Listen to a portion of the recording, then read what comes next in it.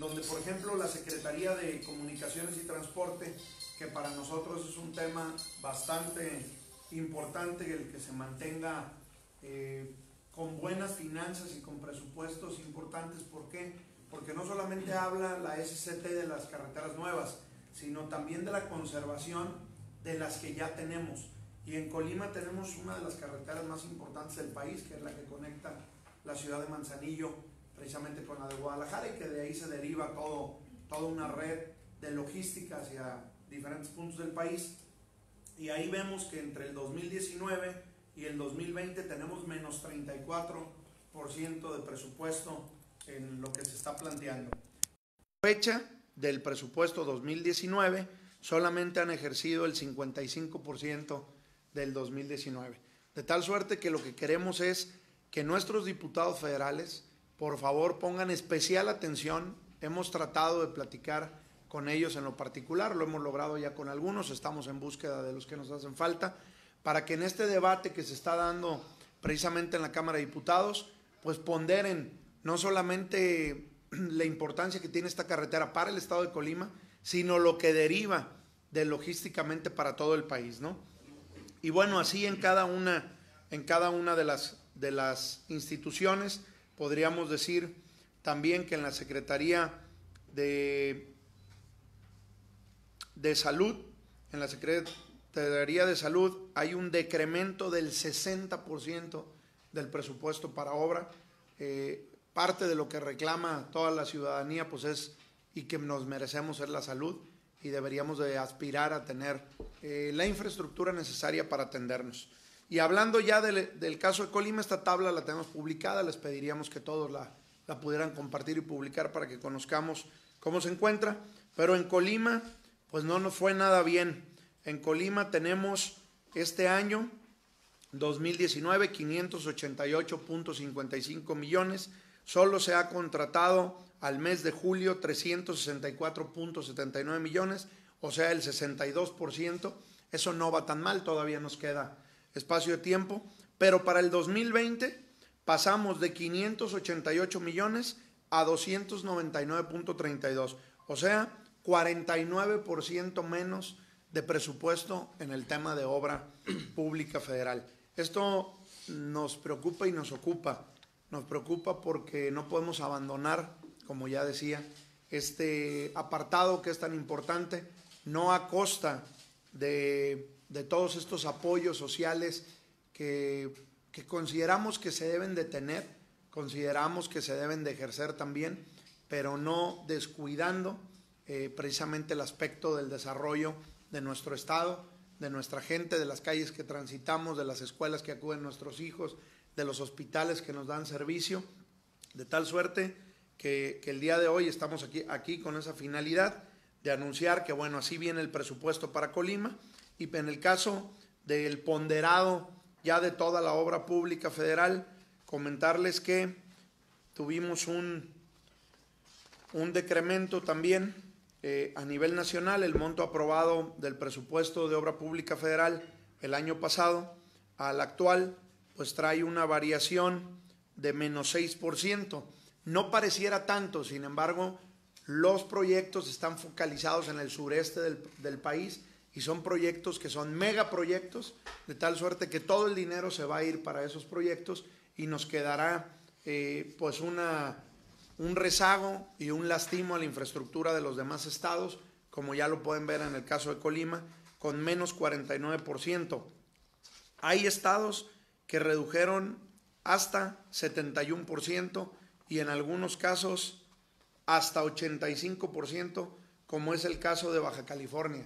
Tiene menos 85% de dinero para su infraestructura. Entonces levantamos la mano, le pedimos a nuestros diputados federales que, que reflexionen, que no voten el paquete económico como se presentó sin analizarlo, revisarlo y ver las consecuencias futuras inmediatas que va a tener el abandonar nuestra infraestructura pública y abriríamos el espacio para si tuvieran algunas preguntas referente a estos temas. Muy amables.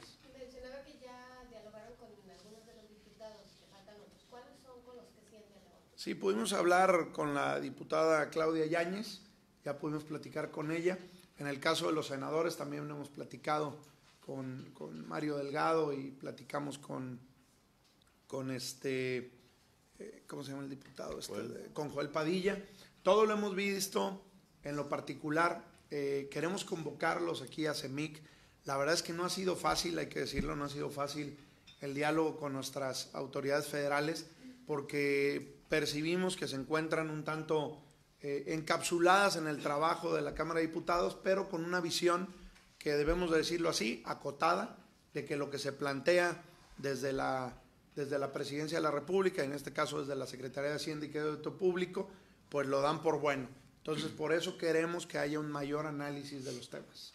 ¿Qué respuesta han tenido de estas personas con las que ya dialogaron? No, hay compromiso de revisarlo, pero, pero sabemos que esto se vota en grupos, que esto se vota en bancadas, por eso es un ejercicio que estamos haciendo en todas las delegaciones de la CEMIC, hacer este exhorto a los diputados y de alguna manera, bajo nuestra consideración, eh, creemos que se están equivocando en este paquete y pedimos que la reflexión y la socialización, como lo marca su deber como diputado, recordaremos o debemos de recordar que los diputados son los representantes de los ciudadanos.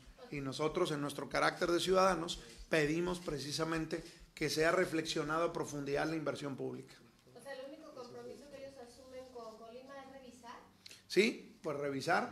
Este, necesitamos socializar esto de mayor manera. No es un tema para la Cámara de la Construcción, es un tema para los ciudadanos. No es finalmente algo de lo que nosotros vayamos a gozar como constructores del beneficio. El beneficio es para los ciudadanos. Debemos de leer esto como que los colimenses tendremos una inversión de menos 49% en todo lo que se refiere a nuestro día a día, en el transitar de nuestras calles, repito, de las escuelas, de los hospitales, de los centros de salud, etcétera. ¿De qué manera puede afectar al ciudadano promedio este, esta reducción del 49% del presupuesto federal?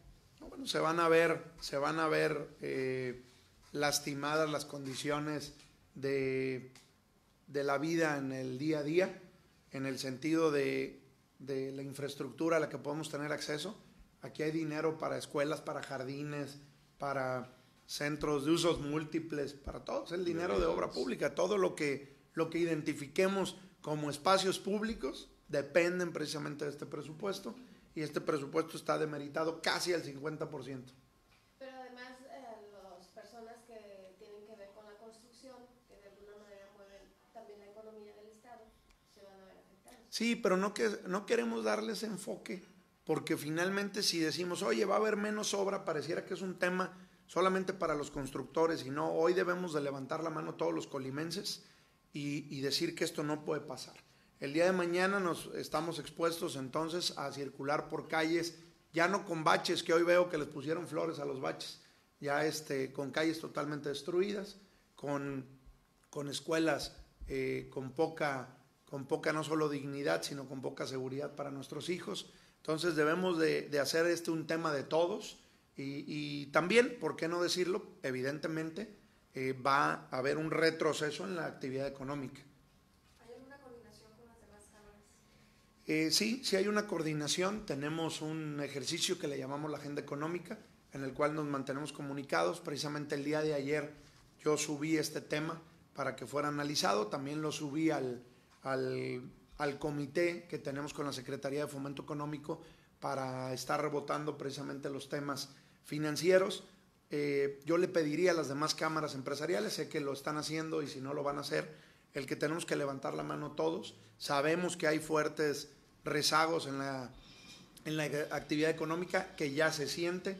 Espero que en estos días estemos viendo los números de cómo se dio el turismo en este puente para que podamos percibir lo que muchos ya lo vimos o lo vivimos en carne propia, que bajaron, bajaron los temas. Aquí sí vemos, por ejemplo, la Secretaría eh, Fonatur, que tiene que ver con el Fondo de Fomento al Turismo, bajó un 51% su presupuesto. Tal suerte que no entendemos a qué se le está apostando. Eh, realmente el querer empatar el desarrollo de los estados del sur con los estados del norte pareciera una buena idea, pero no a costa de hacer que los del norte se parezcan a los del sur, sino que se generen condiciones para que en el sur haya desarrollo, pero no abandonando lo que se ha logrado hacer bien en muchos de los estados de la República que tienen una buena dinámica económica. Entonces, eh, así están las cosas. Muy bien, no sé si algún, alguien quiere agregar algo. Julio. Gracias. A mí me gustaría hacer una observación, por ejemplo, de lo que hemos eh, percibido ahorita. En esta tabla es muy importante que quienes tengan acceso a ella la revisen, porque nos da muchos datos interesantes de cómo estamos viviendo ahorita la situación. En el caso, por ejemplo, concreto la Comisión Federal de Electricidad, para este ejercicio fiscal en el que estamos, 2019, traía un programa de 41.460 millones por ejercer. Al, a la fecha tiene contratado, bueno, al, mes de julio, solamente 5.711 millones de pesos. Eh, el avance financiero entonces significa un 14%. Y yo lo veo muy interesante porque yo entiendo que a todos nosotros, eh, cuando nos llegue la fecha de cobro o de pago de nuestros recibos de, energía eléctrica, eh, inmediatamente la Comisión Federal ejerce su derecho y nos corta el suministro. Y bueno, ellos tienen hasta tres meses ahorita que han dejado de pagar facturas a sus proveedores. Algunos de esos proveedores también son integrantes de esta Cámara y por nosotros lo vemos muy grave, ¿no? Aparte de que ya no están invirtiendo, no se sabe por qué no están pagando, están lentos los pagos y eso es algo que a nosotros cuando nos, llega el momento de pagar tenemos que hacerlo de forma inmediata. Entonces, eso nos dice pues mucho de, cómo está la situación, lo grave que está, porque esos, esos contratistas que le trabajan también a la Comisión Federal se están viendo seriamente afectados y bueno, pues hay mucho desacierto en las empresas que ahora le construyen a la Comisión. Eso es nada más por mencionar una de las dependencias federales que incluso pareciera ilógico porque no sé si ustedes se dieron cuenta hace eh, unas tres, cuatro semanas, yo creo un poquito más, eh, INEGI daba a conocer que Colima estaba en, un avance significativo respecto al, ejercicio pasado en cuestión de avance económico.